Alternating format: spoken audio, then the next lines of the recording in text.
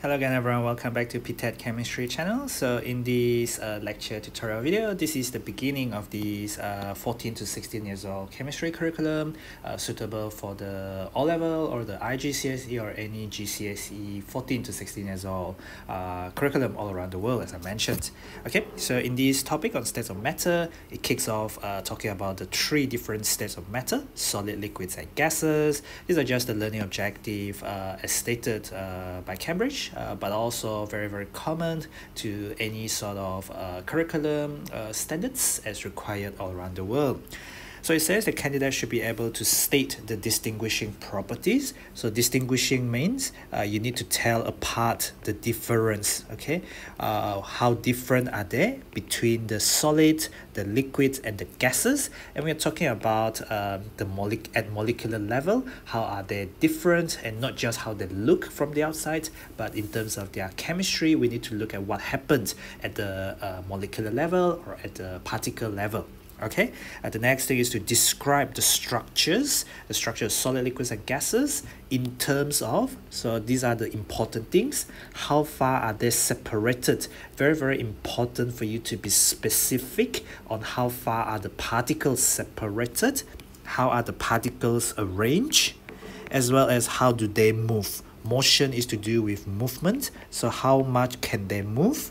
How are they arranged as well as how far apart are they so the first thing we'll be talking about is on kinetic particle theory.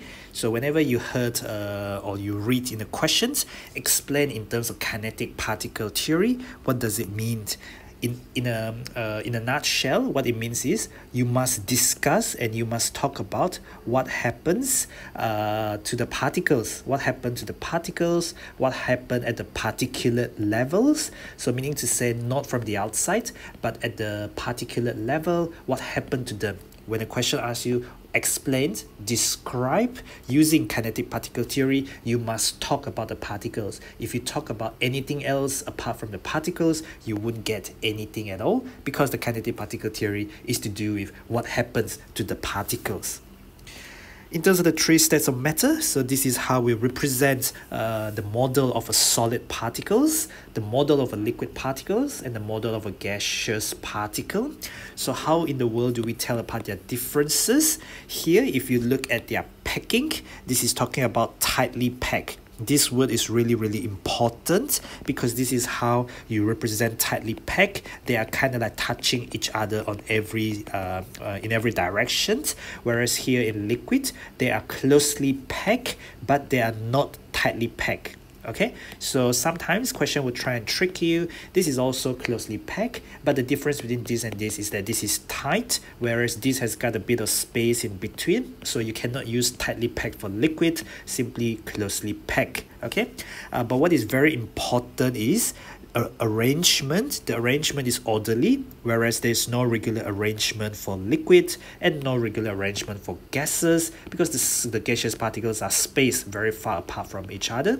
The liquid particle has got a little bit of space in between but the solid particles are tightly packed. No space in between at all and they are arranged in an orderly manner in terms of movement so solid particles. We talk about vibration we talk about vibrate about fixed positions. Very important when you see solid particles. Yes they cannot move freely because they are tightly packed to each other because there are no not much space in between but they still can move. They can move but they only vibrate. They can't move freely but they can move okay? They vibrate about fixed positions.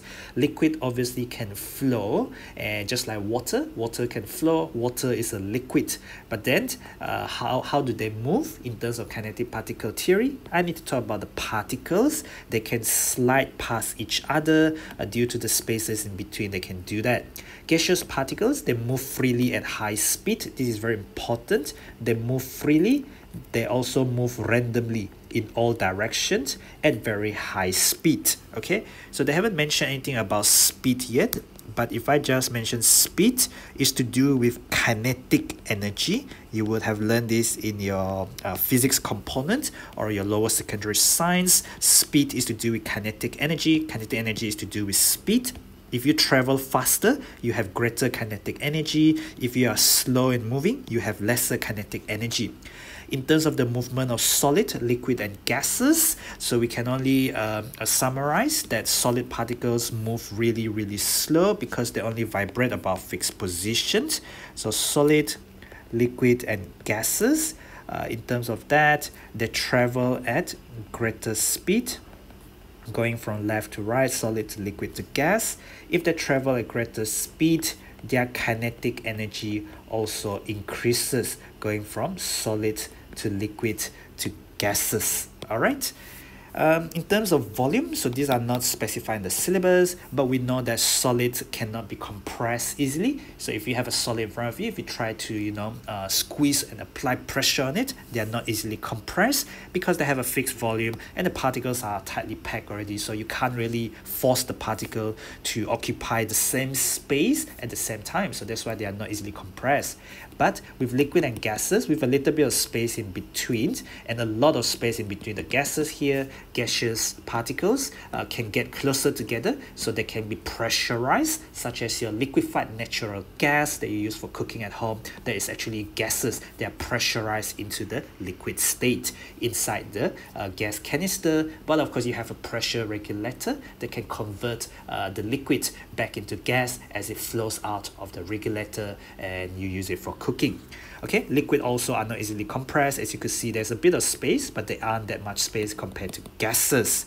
In terms of shape, we know that liquids take on the shape of the container. If you flow, if you pour, not flow, if you pour a liquid into any kind of bottle shape, uh, the liquid water or any other liquid will just take up the shape of the container. Same thing with the gas. Solid obviously don't do that. That's why you can't put, you know, you can't solid can't occupy all the space in the container that you fit them in out of all of these properties, you must be able to draw them uh, according to the model based on kinetic particle theory, explain in terms of packing, uh, separation, so packing and also separation are related, how far they're they separated, how are they arranged, these are arranged in an orderly manner, these are no regular arrangements and these are also no regular arrangements with us and spaced very far apart from each other so there is no regular arrangement uh, for gases as well. And then if you look at the last bit in the syllabus so this is what you have to do when you're revising uh, or when you want to make sure that you cover every single thing that the syllabus require. You also need to talk about motion as well which is to do with how they're able to move and that relates to their speed and kinetic energy also I thought it would be nice to actually go through a couple of questions uh, so that we could uh, understand the concept of what we are talking about all right so there's this thing of melting point and boiling point. This is related to the next bit that we'll talk about in the next uh, lecture but I think it's important and you might have uh, covered this in your lower secondary science uh, when you have uh, been taught about melting and also uh, boiling as well. So I'll, I'll kick it off from here. If we have a melting point so this is the temperature.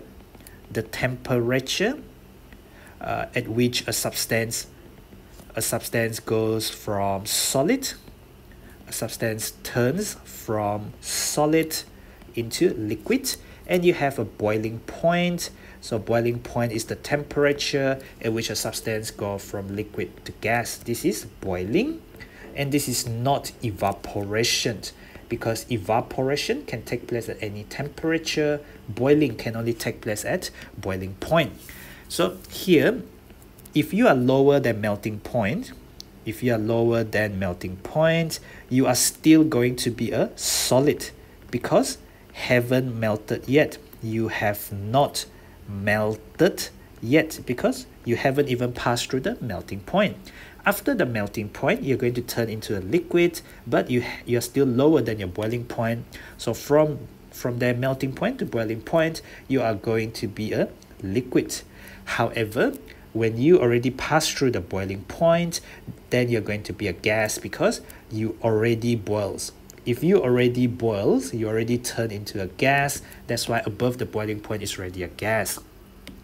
There is this thing called room temperature. You will get used to it. So let me just tell you room temperature is 25 degrees celsius. This is a standard an international standard recognized around the world. 25 degrees celsius is room temperature. So we're looking at 25 degrees celsius. We're looking at disorderly arrangement.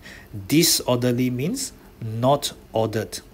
Not ordered means well it could be liquid or gases, but it is definitely not solid because solids have an ordered arrangement of particles. If you look at option A, if we have minus 114 degrees Celsius and we have minus 80 degrees Celsius, this is boiling point, this is melting point, where is our 25 degrees Celsius? Our 25 degrees Celsius is way above higher uh, than minus 80 degrees Celsius and it already passed through the boiling point. This is already a gas. We already gotten our answer just by going through option A first. If you go through the rest of these options, you will see that 25 degrees Celsius is lower than the melting point. So if the 25 degrees Celsius, which is room temperature, is lower, if it is lower than room, well, sorry, lower than the melting point, melting point I will abbreviate I will shorten as MP so all of these are higher than melting are higher than the room temperature so at 25 degrees Celsius room temperature they are still solid they are still solid uh, at 25 degrees Celsius because you haven't passed through the melting point yet. We'll talk more about melting and as well as melting point in the next lecture tutorial. Let's go through the rest of these questions. We have these molecule, so these compounds. Doesn't matter what it's called at this point, but by the end of your O-level or IGCSE chemistry, you will have learned all about uh, this particular stuff. We want the movement and we want the arrangement, and this is kinetic particle theory, and they want liquid when you are doing questions, do not hesitate to circle and underline. Do not just read, instead write, circle, underline parts of the questions. By circling and underlining, we can see things better and we can do things better. All right, so we want liquid. So we know that liquid particles, so these are all kinetic particle theory. We know that liquid particles slide past each other. Okay, so in terms of arrangement, so liquid particles, liquid particles are, uh, are, are not ordered. So meaning to say you can say disordered as well. And then uh, with, and they are closely packed, sorry, they are also closely packed. They are not tightly packed.